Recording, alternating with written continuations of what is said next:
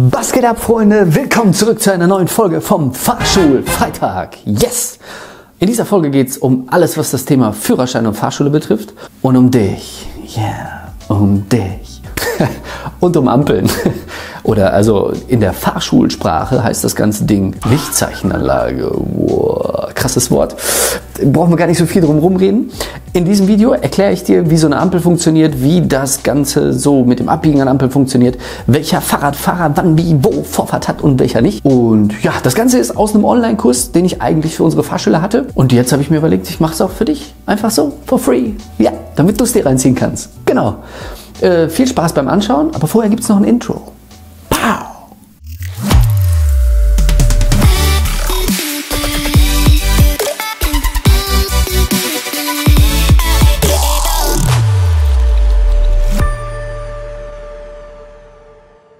Die Sache ist folgende. Also, dass man bei grün fahren darf, so wie hier, das seht ihr, das ist, äh, liegt ja auf der Hand, das brauche ich nicht erklären. Wichtig ist, dass ihr checkt, welche Phasen wie funktionieren. Ja? Also als allererstes hat man mal grün, so wie hier.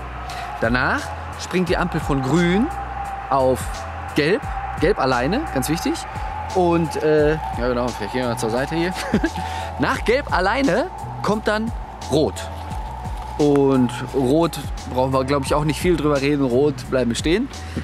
Und nach der Rotphase springt die Ampel nicht wieder auf gelb, sondern es leuchten rot und gelb gleichzeitig. Die Sache ist so, also als ich zum Beispiel meinen Führerschein bestanden habe, am ersten Tag, hat mich dann abends die Polizei angehalten. Wir sind irgendwo durch Dortmund gefahren.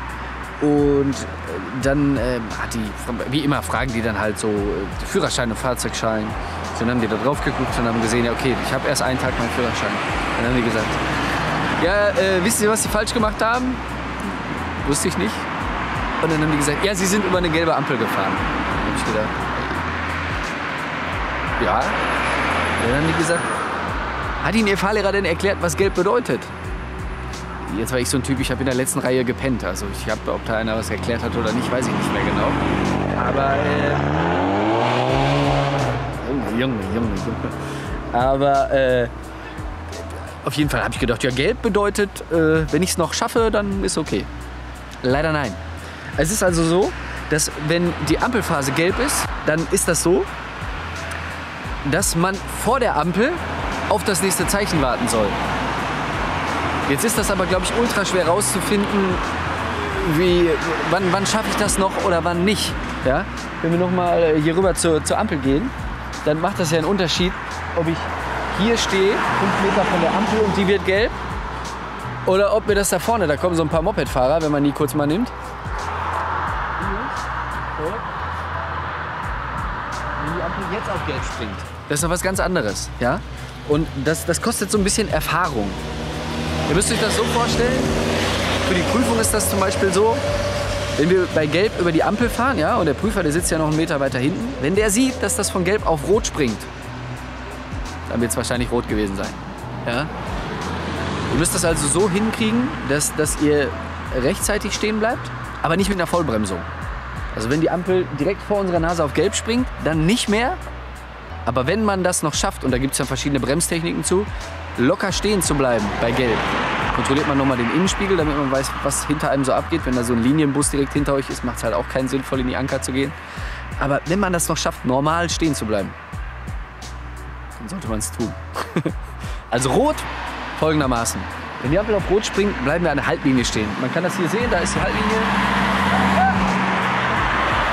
So, da fährst du dran und da bleibst du stehen. Und wartest halt vor der Ampel, bis das nächste Zeichen gleich kommt. Ja? Was allerdings wichtig ist, was man verstehen muss, wenn du da stehen bleibst und es ist rot, ja, und jetzt kommt von hinten irgendwie ein Krankenwagen angeballert mit Blaulicht und Tatitata und was, was abgeht, dann darfst du über die Linie fahren.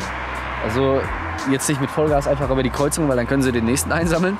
Aber es ist so, dass du dann tatsächlich, obwohl die Ampel rot ist, über die Linie fahren darfst und so weit nach vorne fahren kannst, dass äh, der Krankenwagen durchkommt. Also gegebenenfalls kannst du dann auch hier auf den Grünstreifen fahren oder so rechts darüber hier in die Einfahrt rein, so wie man das da sehen kann.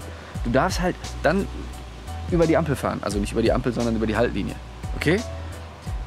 Ansonsten nicht. Ansonsten bleiben wir einfach stehen bei Rot. Dann haben wir äh, die Rot-Gelb-Phase. Und rot-gelb ist halt vom Weitem, dass du das locker erkennen kannst. Also wenn die Ampel rot war, das kommt rot-gelb gleichzeitig, dass du sofort checkst, okay, gleich kommt grün, ich kann weiterfahren. Ja? Gelb alleine haben wir auch schon gehabt, grün haben wir auch schon gehabt. Ich würde sagen, jetzt sind wir erstmal durch damit. So, that's it. Das war alles äh, zum Thema Ampeln. Nicht alles, was ich zum Thema Ampeln weiß, aber erstmal so grob die Basics. Im nächsten Video, nächsten Freitag, geht es dann um das Thema Grünpfeilschilder. Ich, meine Ma weiß, glaube ich, bis heute nicht, wie das Ding funktioniert. Ist aber auch nicht schlimm. Ich sage auch nichts, weil ich, wieder, und ihr wisst schon, ne, und ich hoffe, dir hat das Video gefallen. Wenn ja, liken, abonnieren oder andersrum. Und ähm, ich bedanke mich bei dir fürs Anschauen. Wir sehen uns dann auch schon nächsten Freitag wieder. Wenn du Bock hast, dienstags gibt es auch immer Persönlichkeitsentwicklungsvideos. Und äh, das war's. Äh, fahr vorsichtig, pass auf dich auf. Schreib mir in die Kommentare, ob es dir gefallen hat oder nicht. Ja. Und wenn nicht, dann nicht. Alles klar, bis zum nächsten Mal. Tschüss.